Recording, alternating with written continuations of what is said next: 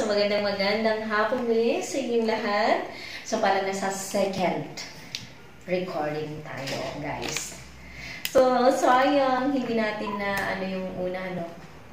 So, siniset up na po ang ating video camera. Sayang naman yung ganda ng ating gawin, hindi na kumuha.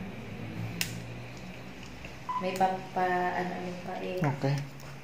Okay. Isilvio ka basit manong Leo. Ayun.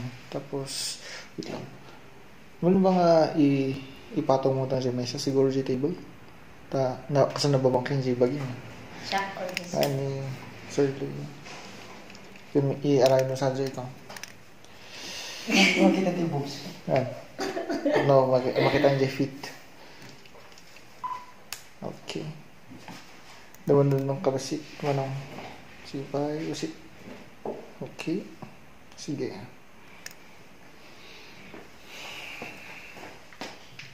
Manang kidum dyan mata. May? Oo. Ako ba iwasan ko? Tapos, ang aga pa.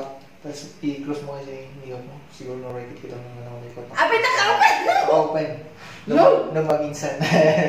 Ay, iso? Ay, ya. Na. Sige. Okay. So, what? Tuloy tayo. Nimbag-nimbag man niya ang sapa, kadagiti nakatune in iti apo programa tayo nga BSC on air. Nangruna apo kadagiti kakabsat tayo nga farmers. Ken kadagiti naka-enroll inya iti school on air on advanced sa beekeeping. Katita nga gundaway tayo ituloy with uh, Sir Leo Kimbungan. Dito apo lesson 1 may papanpay lang iti Queen Bee. Inya. Intay ituloy dito man may papanpay lang iti uh, kaslang nga rason no apay inya nga daytoy kasapulan iti panaga rir tayo iti queen. So di jay din tayo pagtutungtungan tatangag sapa kalpasan lang daytoy sirmat ti BSU ti agbalin akang runaan a pagadalan amangi papaay iti pang sa lubungan ti kalidad ng edukasyon amangi tunda iti di makaltay a panagduras uray.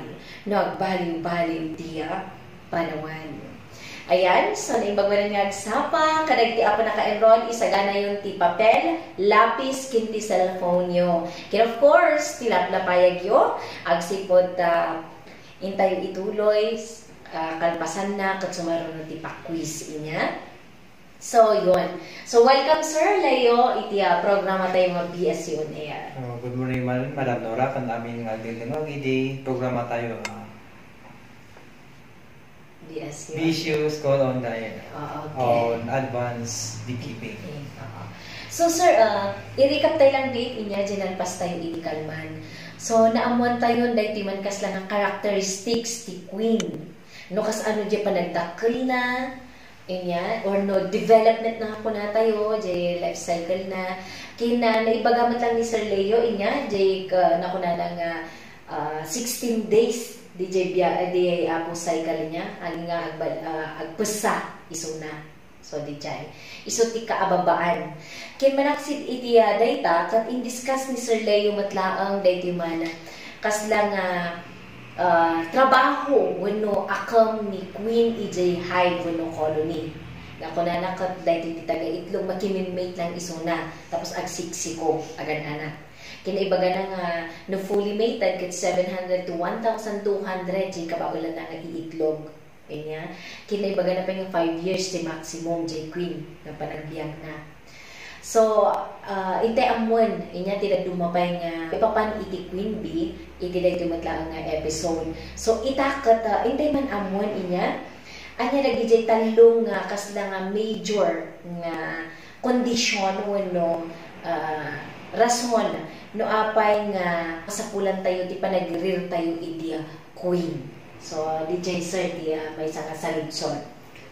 So, di uh, discuss tayo tatakat diay panagaramit ti Hive ti Queen. Dati Ayan, so ito na ang pangatlo nating episode with uh, Sir Leo Kimbungan. Welcome man nandito yung vlog ko. Please subscribe and watch and share.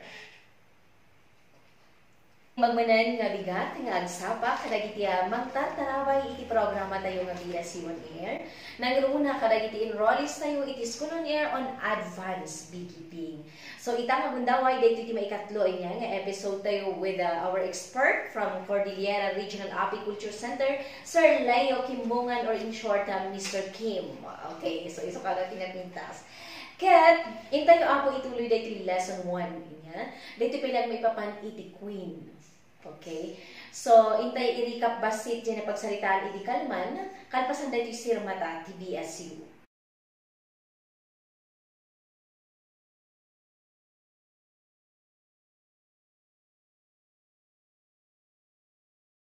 Oh, welcome to the program. Uh, so, ayan. So, sakbay so nga nga, intaman ituloy kat basit nga recap lang idi kalman. So maipalagip nga intayo na talantan idi kalman dahil ti maipapan iti uh, kung kunata yung uh, uh, talong uh, rason wano sitwasyon ngano sa dinno kat kasapulan dahil ti, ti colony ti panag rirda iti bukod da nga queen. Naibaga na jay queen lost, panakaawan jay queen agsiputan na tayo, wano pinatay na.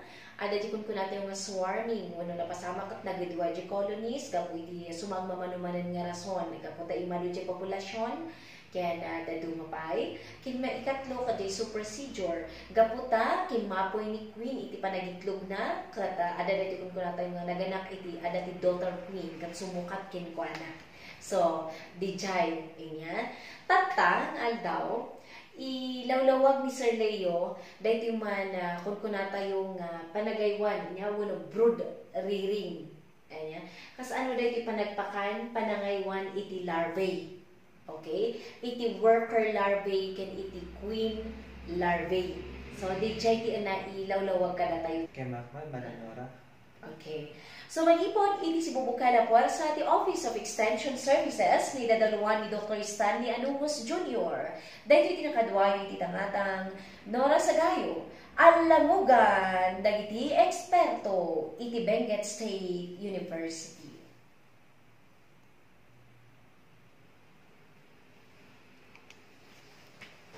Okay.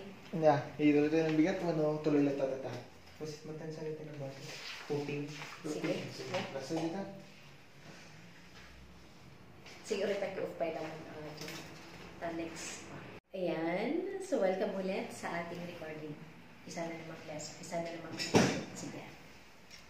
Nimbag-nimbag mo na nga agsapa kakabsat inya. Kadagiti uh, magtatarabay iti programa tayo. Kadagiti man mga dumdumag kita nga agsapa. Nangruna kadagiti enrollees tayo iti SOA on Advanced Beekeeping. Okay, masapon nga dumugag kayo isagana yung tilang tapayag yo, tilapis kinti uh, papel yo kasama tayo ti cellphone yo para iti parang sa iti answer yun to, okay? So, yon Ita nga agsapa, makadwa tayo latan Sir Leo, wala Sir Kim. Tapno hintay man ituloy nga amuan dahil may papan iti queen piping. Inya, dahil po tayo nga queen piping, ada ti queen tooting, ada ti quacking. So, anya ka didagita, dahil tati tayo amun damdawa, kalpasan na ti sirmata ti BSU. Ti agbalin a kangrunaan a pagadalan a mangi papaay. Iti pang sa ngalubungan ti kalidad ng edukasyon a mangitunda iti di makaltay a panagturas uray na agbaliw-baliw ti panawan. So, naipagmanin nga sa pa, kasalakin yung Sir Leo, welcome iti programa tayo. Good morning, Manan. Mananora. Kanti amin adab na mga dito ay programa tayo. Oo. So, sir, uh, inakman pa'y basit intay basit i-recap niya.